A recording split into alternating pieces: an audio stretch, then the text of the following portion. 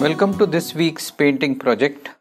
Just like every week, we'll be using the M3 method of painting to compose the picture, block in the colors, and add details to complete a painting. This is a photograph which I clicked near Mulshi and I'll be using this as my reference photo for today's painting. So I'm going to choose a canvas in this shape, a rectangle and I'm going to use elements from this to compose a picture.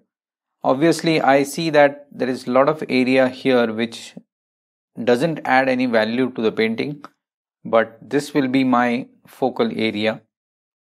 So I'm going to have this big tree here as the focal point and here will be the base of the mountain and instead of having these two hills I'll be having just one mountain like this in the background. And I'll have this fence. And its shadow.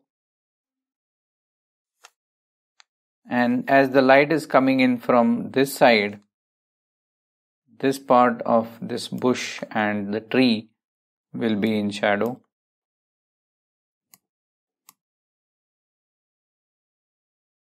and that will cast a shadow like this.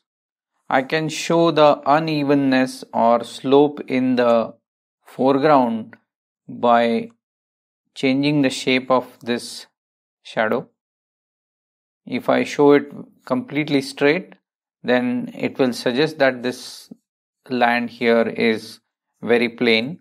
Whereas if I have some undulations in that it will suggest that the land is having some kind of uh, unevenness.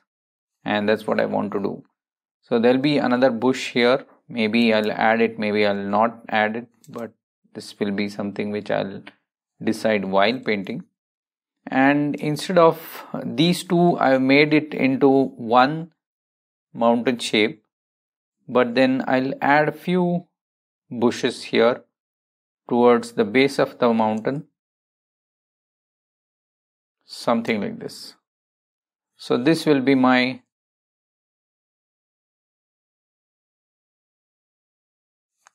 compositional sketch for this painting.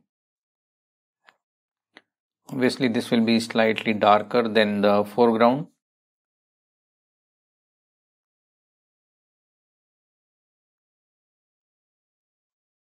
So this is step number one. Step number two will be block in and step number three will be details. So this one is composition. So that's what we have done now. So see you in the step number two where we block in. Uh, this time we will be using watercolors but I'll be also using white in watercolor and use the colors like gouache and uh, not like very transparent watercolors. Welcome to step number two in which we'll first draw the outline of the major shapes here on this paper and then we'll start painting in or blocking in. So I'm using watercolor as I mentioned in the previous uh, lecture. And this is cobalt blue, this is uh, chrome yellow, this is burnt sienna. And this is titanium white. I'll be using only these colors. And I'll be mostly using this flat brush. It's number 12 and a small brush round brush if I need to add in few details. So let's start with first laying in the outline. So I'm using some of the cobalt blue and I'll first indicate this line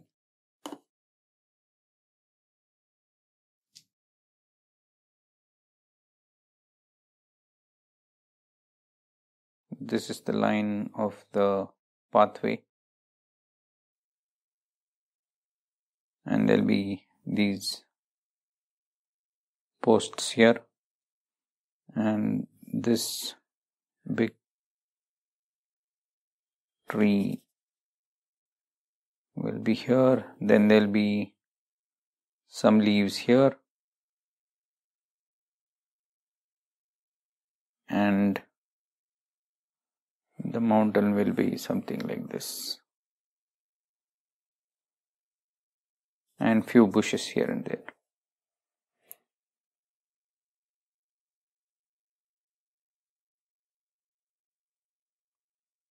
Something like this. Now let me start by this. Even though this is uh, watercolor and I'll be using it as uh, gouache which means I'll be adding white to make uh, some parts of the painting opaque. I still uh, recommend that you start painting from lighter colors towards darker colors and from background towards foreground.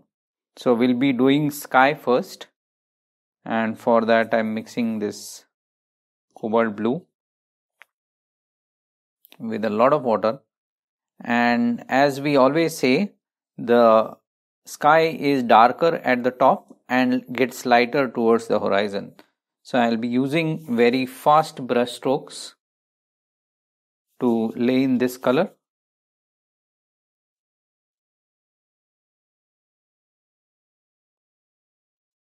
And I'll thin out the color as we come towards the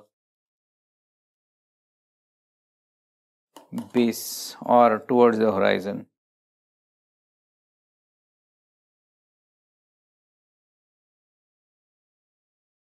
Maybe I can add some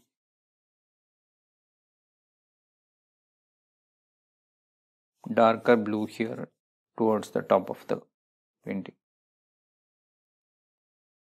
I have not leaned this uh, paper against something like this which will make it slightly flow down better or the colors will flow down better. So I think I need to do that and I'll add something like this here. So this is better. So now let's come to the mountain first. So in the mountain I'm going to have uh, I don't intend to make this very smooth. Hence I'm applying it I applied it so roughly we might have to change the value of this color once we lay in some trees or suggest some trees on the mountain in the background but let's wait for that. And now comes the i think the darkest part which is the tree. So let me mix a color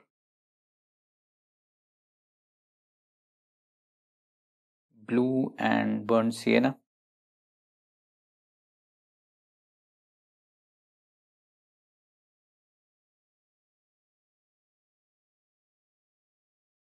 And I'll start laying in that. And the tree will have its base here somewhere.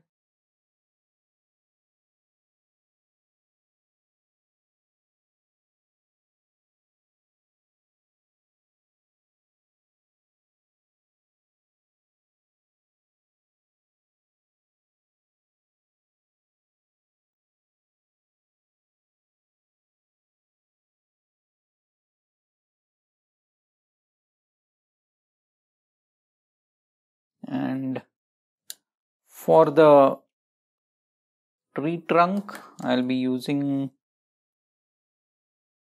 this round brush and I'll mix a dark color and I'll try to draw the tree trunk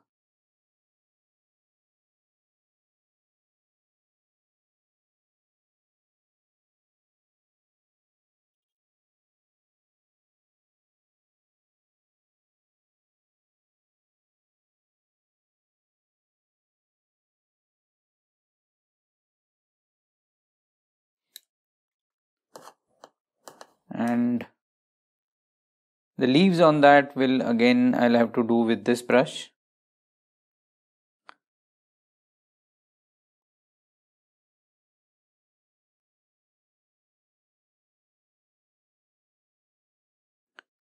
First the tree uh, the leaves on this side will be slightly darker. So i'm using a darker green. And let me see how this goes. I'm roughly creating this tree like or leaf like structure.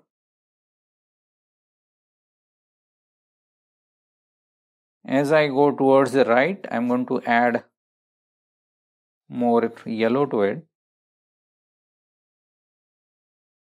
to suggest the light which is falling on those leaves because the light is coming in from this side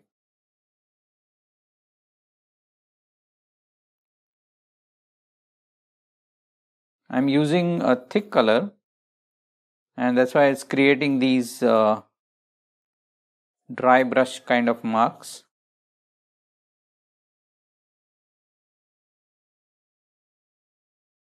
And I think I can go slightly more darker this side. So I'll mix a darker color again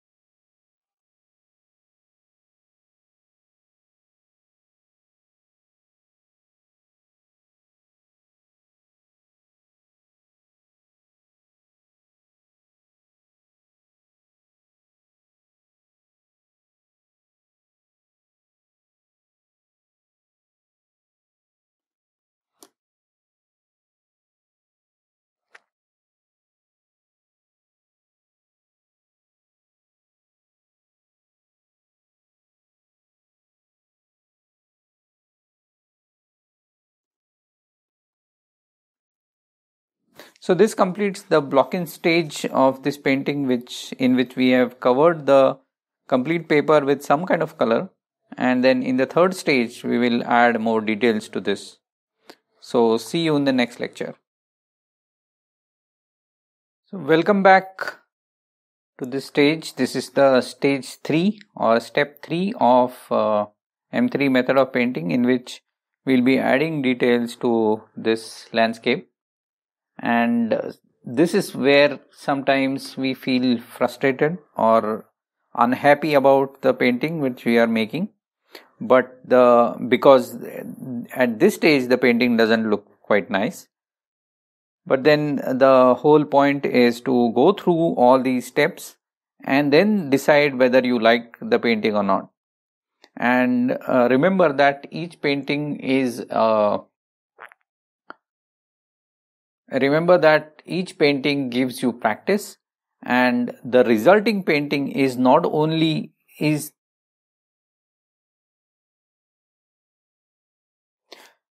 Remember that each painting gives you practice and that's one of the major outputs of this exercise and uh, a successful painting is not always the only output which you need or get from any painting exercise. So let's begin adding details to this painting. I'll start again with the mountain and for that on the mountain I need to add some areas of trees. So I'll have some color which is something like this which we used here but I'll make it even more lighter. So I'm adding white and I'll also add some blue so that it becomes more bluish. And let's try this color on this. This looks okay to me. Let's see how this works on this is too blue I guess so I need to add slight brown.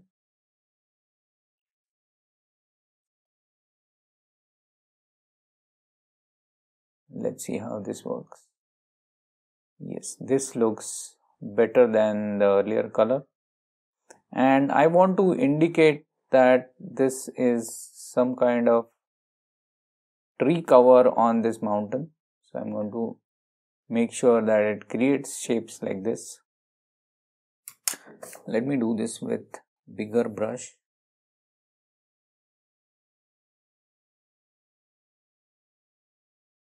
The bigger brush creates much more looser strokes or more free strokes than small brush.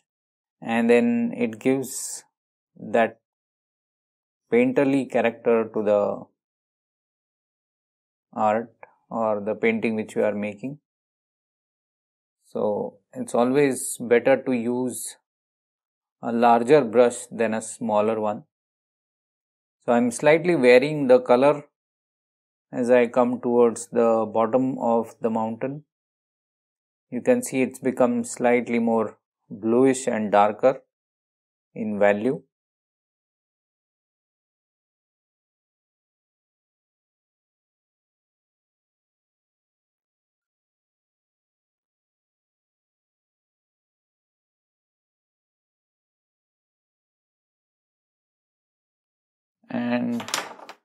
I want to show a path here.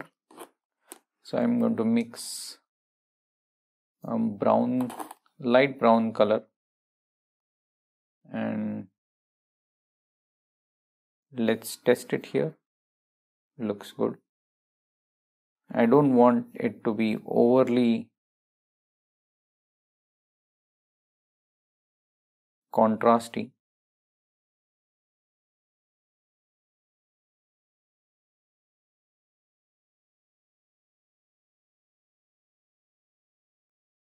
this is a mud road so it will not have any sharp or definite or straight line edges.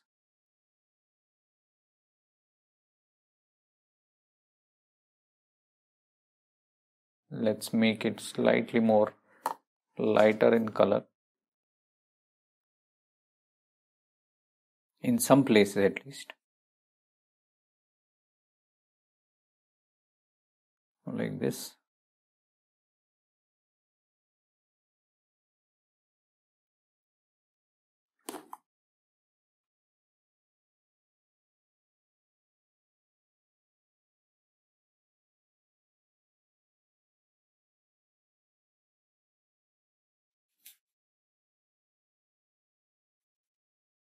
just to get rid of the monotony of the flat land here. I'm brushing in some color. And I want to show some darker posts here. So I'm mixing again a dark. And let's see how this looks. The posts will be taller on this side. And as we go towards the tree they'll look smaller and smaller. And I also I'm not drawing them parallel to each other because each one will have its own angle of standing. And each one also will cast a shadow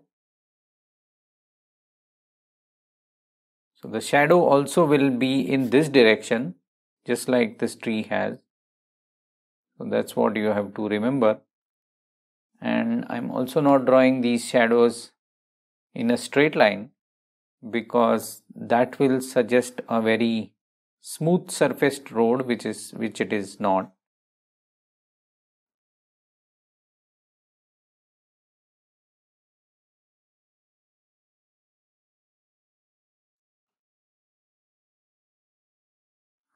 let me suggest some barbed wire in between them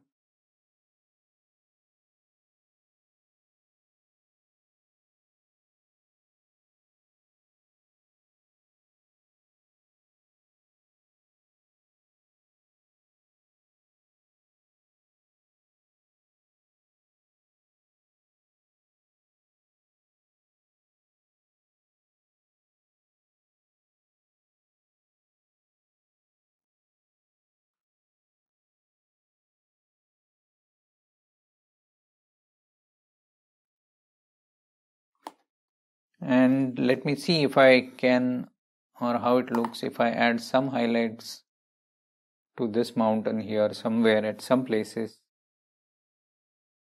Yes this looks good. This also brings the feel of it being a very sunny time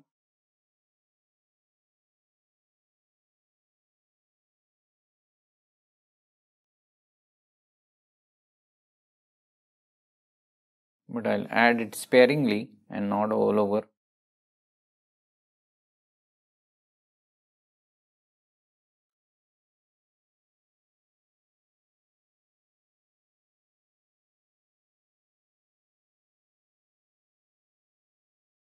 That's enough, I guess.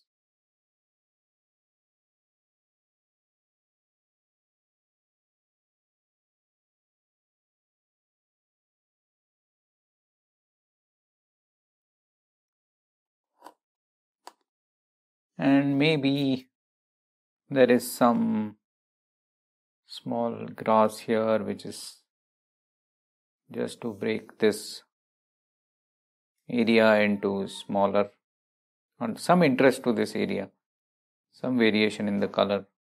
So i'm dragging my brush like dry brush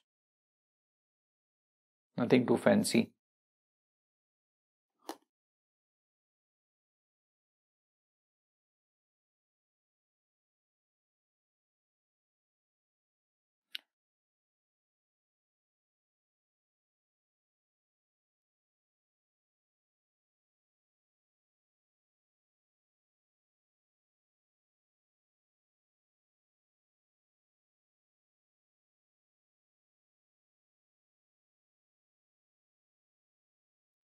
I think that's it.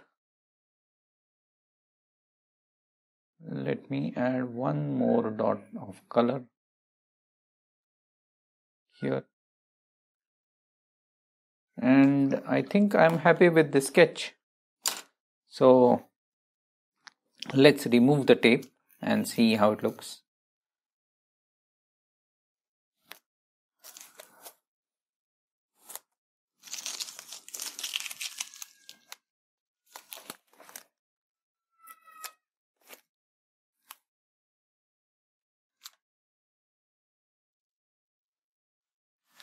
I always love this part of the painting process.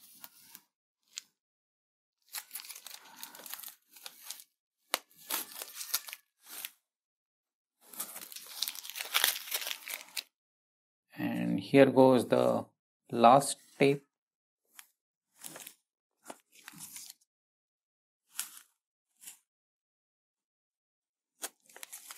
And that's it. Just to summarize what we did in today's uh, painting is we started with a photograph and then we composed this as part of first step of M3 method of painting. Then we blocked in the colors, main colors of each area and then we added details to finish the painting. And we have used watercolors like gouache in opaque manner by adding white. So I hope you enjoyed this painting and you will also make an attempt to paint uh, using the same photograph which I am attaching to this video and uh, you will make a painting based on that.